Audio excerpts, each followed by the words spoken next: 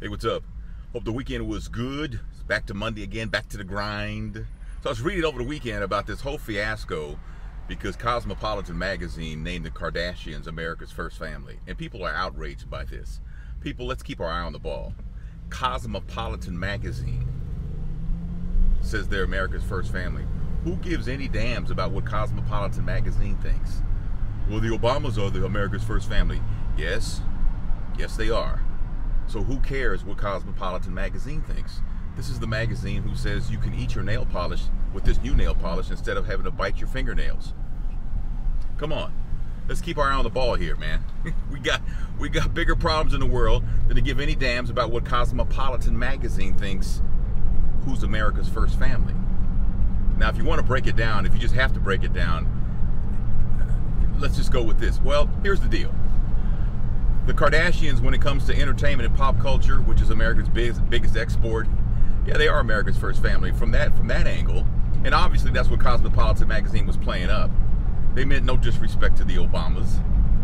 Who's taking them serious? I don't even think Cosmopolitan magazine took themselves serious when they announced the Kardashians were America's first family.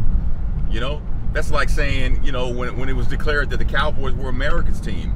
Well, sure, I believe it because I love the Cowboys, but for people who love the Pittsburgh Steelers, they were pissed off.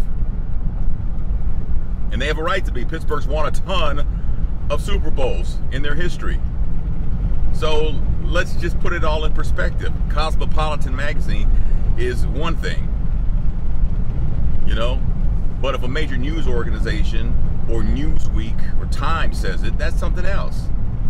Don't waste your energy getting mad because Cosmopolitan magazine magazine who did an article about a guy who got a bikini wax because his girlfriend wanted him to experience what that feels like. That's what they do. Bikini waxes. when I want an article about a, a, a bikini wax, they're my go-to.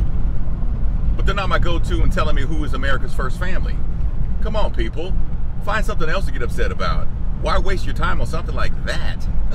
I'm just saying, if I'm wrong, leave a comment down below because that, my friends, is stupid. All right. I'll see you at 2 o'clock on Smooth R&B 105.7.